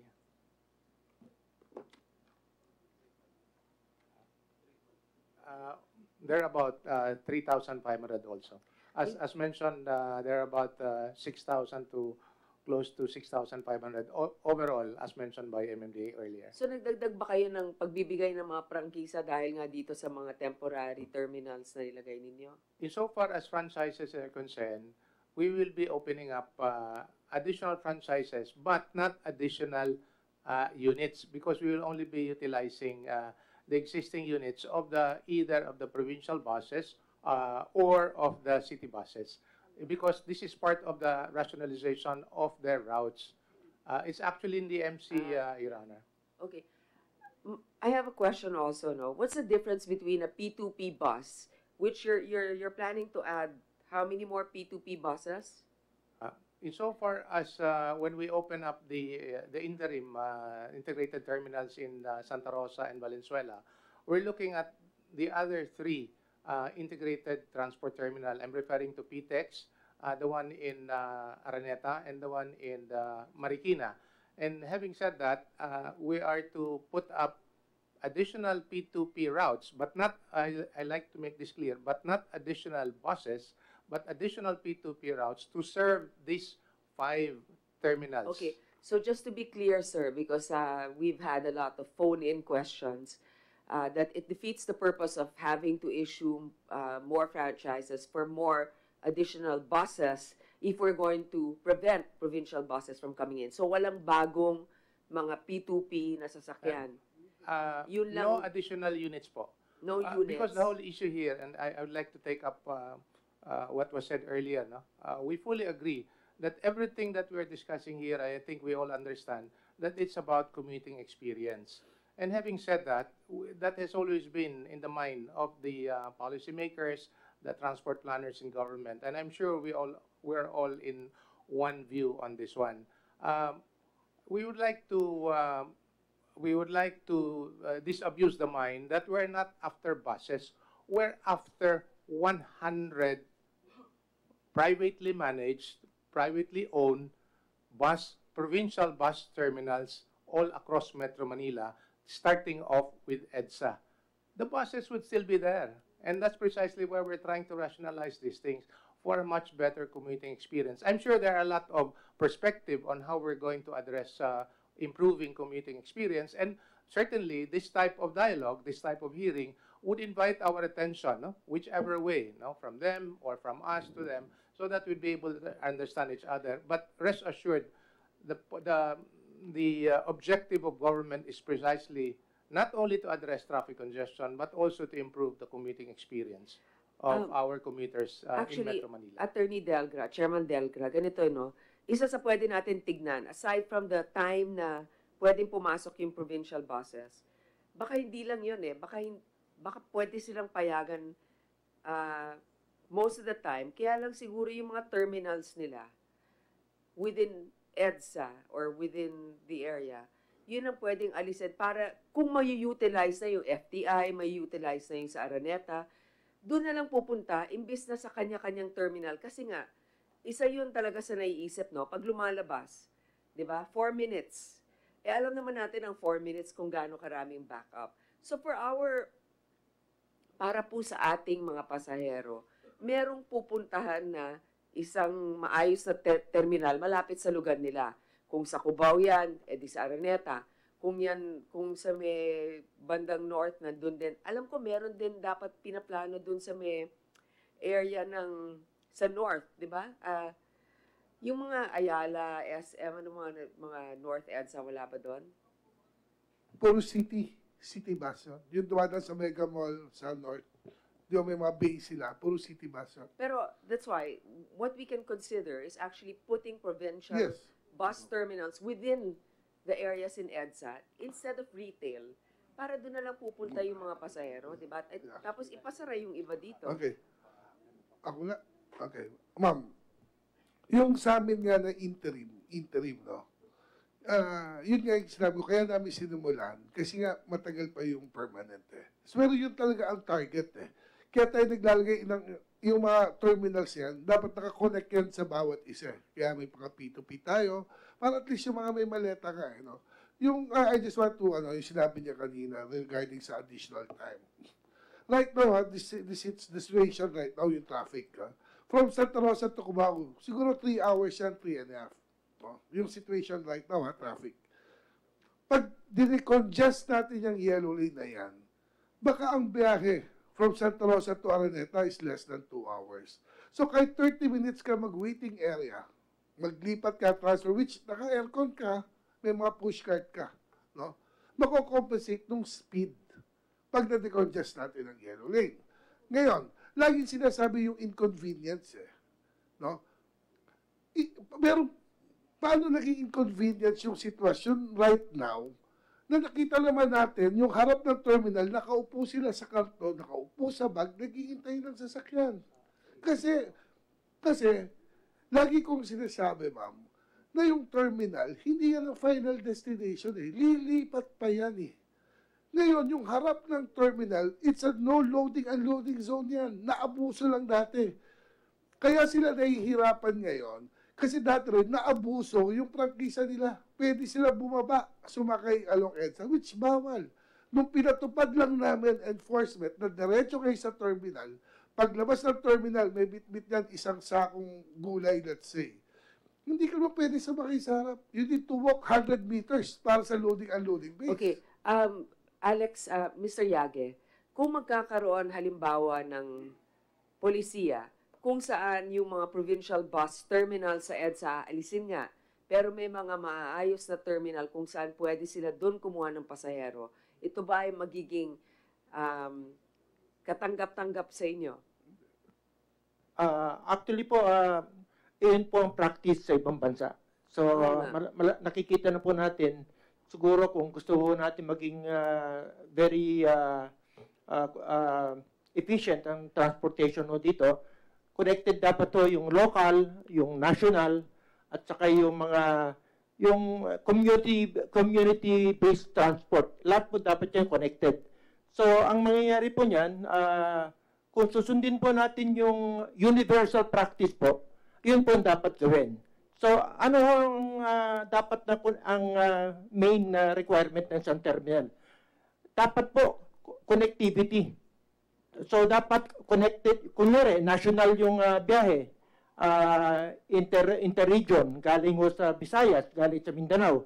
Pagdating ho sa Manila, meron siyang makokonect na sasakyan, pwede siyang sumakay ng train, pwede siyang sumakay ng MRT, suma, pwede siyang sumakay ng jeep, o sumakay ng ah, UV Express, o whatever, makakarating doon siya doon sa kanyang pupuntahan.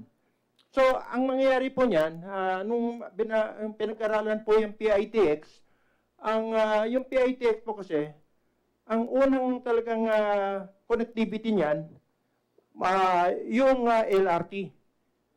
Ang un- un- unfortunately, nag-umpisa yung PITX, walang connection. So pagdating ho ng sasakyan doon sa PITX, wala kang sasakyan.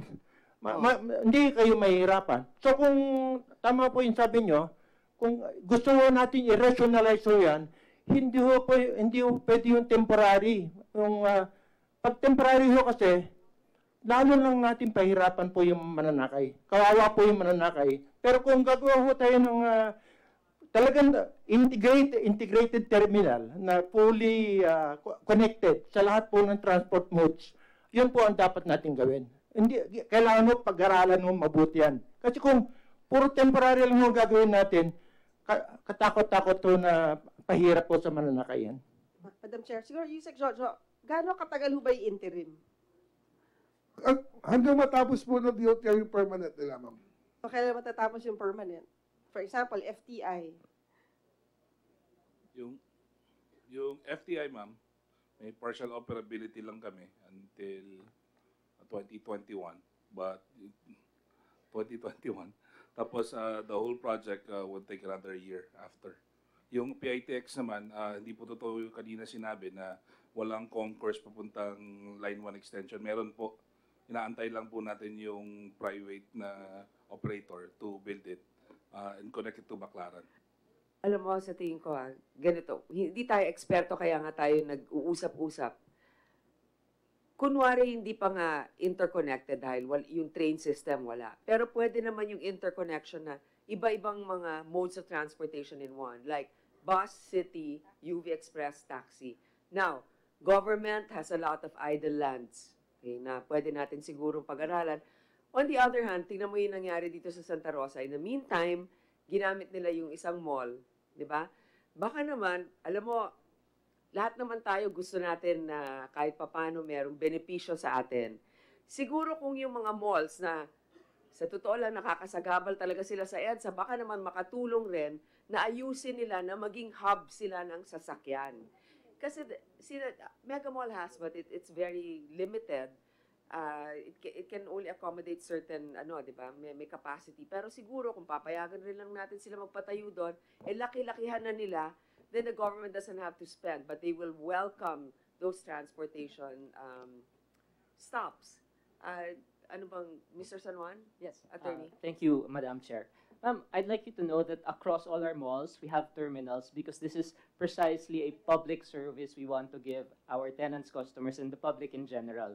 In fact, in the case of Santa Rosa, whether or not there's a provincial bus ban, the terminal has been existing and it's part of our expansion program po talaga. O yan. And nung hiningan po kami ng tulong, nag um, o- sumang-ayon po kami kasi alam namin makakatulong. Kasi ho, uh, most of our development there is open area. So it's very, it will help to build the terminal. Madam Chair, siguro can we just get an update from PITX?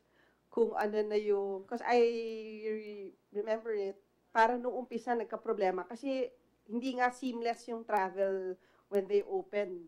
Dumadating yung provincial bus doon, tapos wala namang dumadating na uh, city bus or other modes of transportation. And it's been, ilang buwan na ba kayo nag-ooperate? Uh, we've been operating for uh, less than a year, around seven, eight months. Uh, maybe you can share to us. Yeah, thank you, Madam Chair. Thank you, Senator.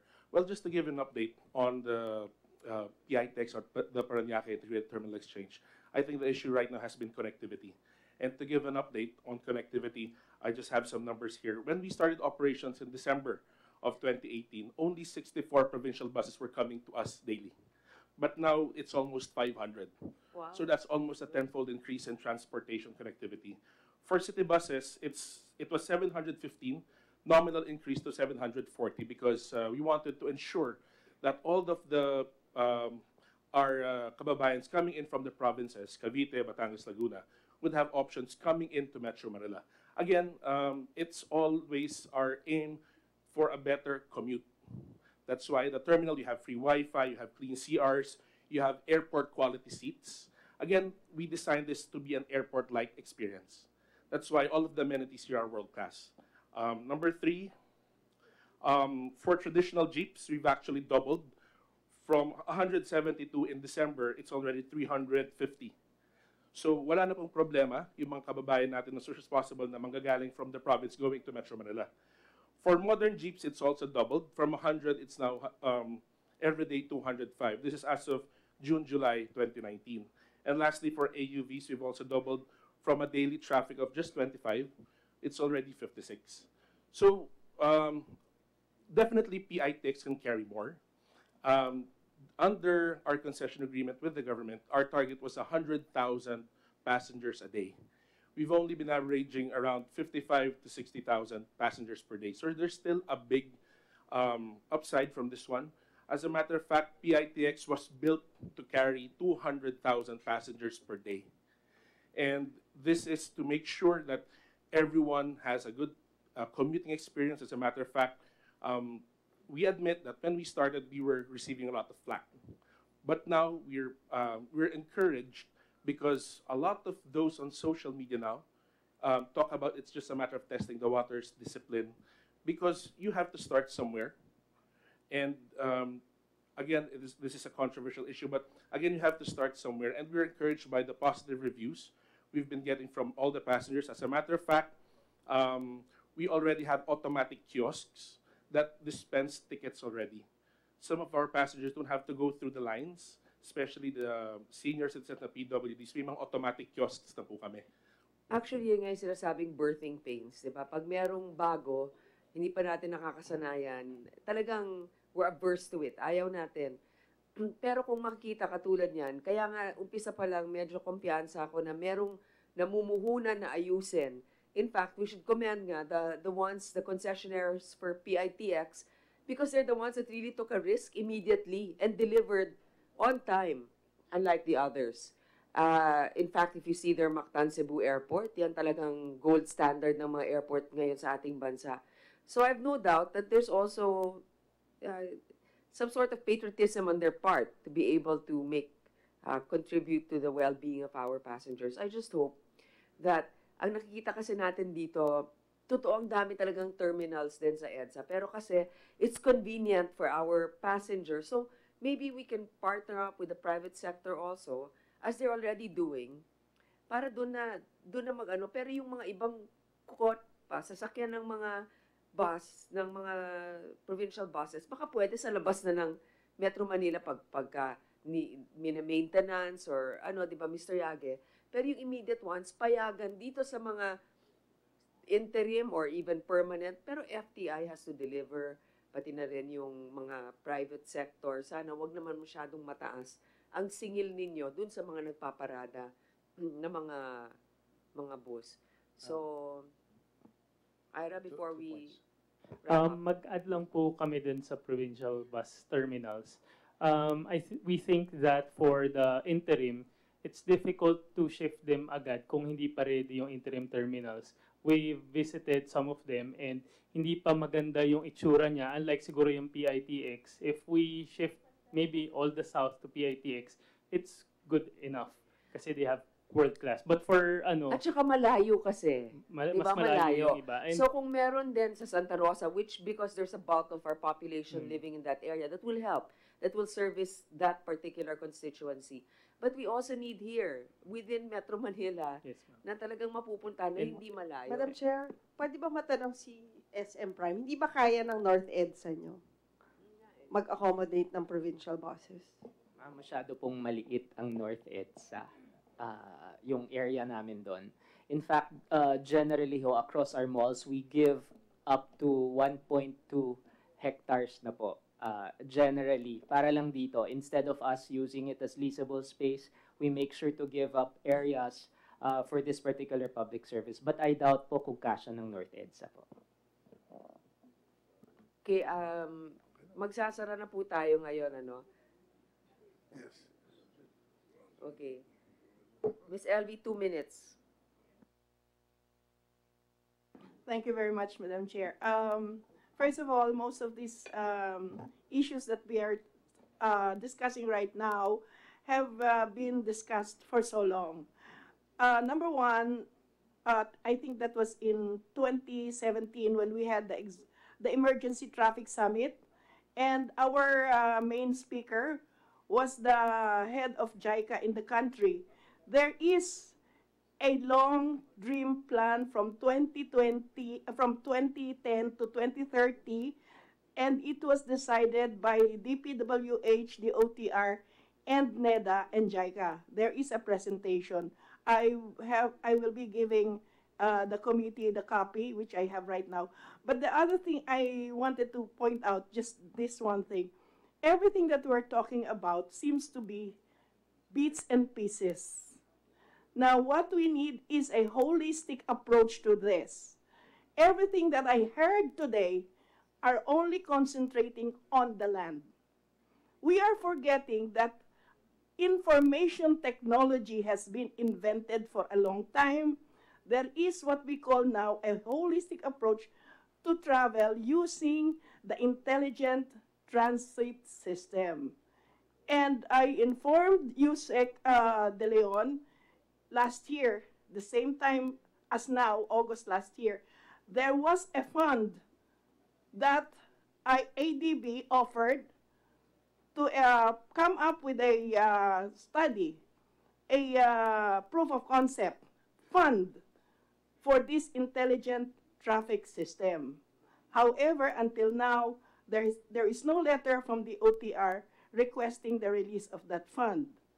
And uh, it should have been very helpful and it could Intelligent traffic system, like coordinated sequ- sequencing ng traffic lights, Yes, mga ganon. No, it starts from dispatching where there is a central system which is MMDA. They should be a, a cyber control center already where they can even read from their monitors what are the GPS numbers and the plate numbers of all the vehicles in Metro Manila. They do not need to be on the ground to accost them because there are uh, sensors that will stop the vehicles if they are not in the proper ABC. And all this can be arranged and it can be organized through that intelligent traffic system. And this is a project proposed by the Uh, ADB? there is there is a, a proof of concept fund that ADB had offered already. How much is that? Uh, they they uh, Is this a offered- loan or a grant? No, it's a grant, two million US dollars. So uh, what I'm Are you saying now familiar is- with that, Yusek De Leon? Yes. Uh, In fact, I wrote, I, I made a draft of letter from, to be signed by him to Okay, Yusek. ADB. Uh, yes, uh, we know about that uh, grant. It's uh, an unsolicited proposal by a private proponent. Parang dinedirekta sa ADB para i-fund ni ADB. Uh, but uh, MMDA, uh, for the information of uh, everyone, has already this uh, ongoing uh, master planning study of ITS is being funded naman by JICA. It's a comprehensive study already. So uh, wala hindi na kailangan nung nung uh, ADB uh, funded uh, master plan na 'yon.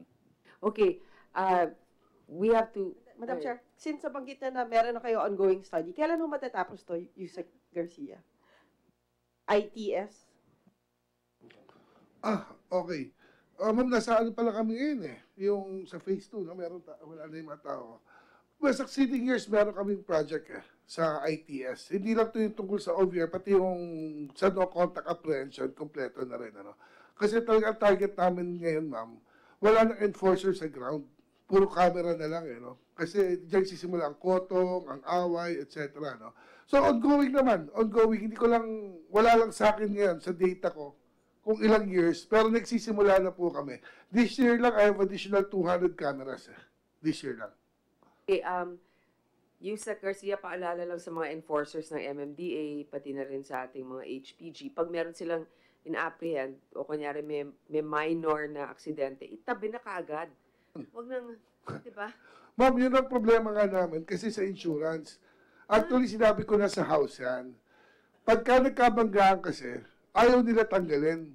Kasi karamihan, walang comprehensive insurance. Sabi ko nga, yung binabayaran natin insurance na TPL, bali wala yun eh, sa LTO. Sabi ko dapat bago reso, may insurance na comprehensive para pagka nagkabangga, walang sisihan, pwede nang itabi. Ang problema ngayon, kailangan may pulis eh.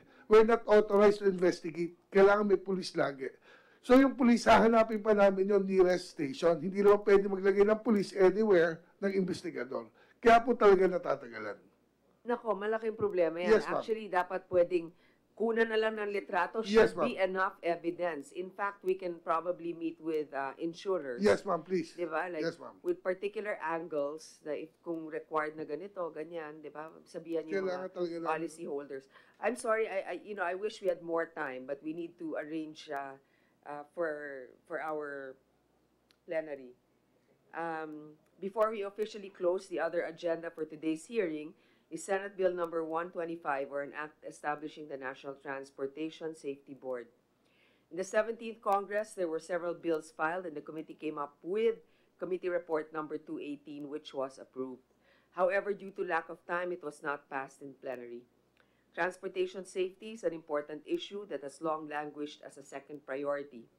The recent Iloilo Guimaras Strait tragedy involving the capsizing of three motorized bankas raise questions which need answers if we are to give justice to the victims' families. Uh, I would like to manifest that the said committee report and other records be adopted and form part of the committee report that this committee will submit. Ngayon, uh, for the MMDA and the DOTR, please consider the immediate implementation of the 10 p.m. to 4 a.m.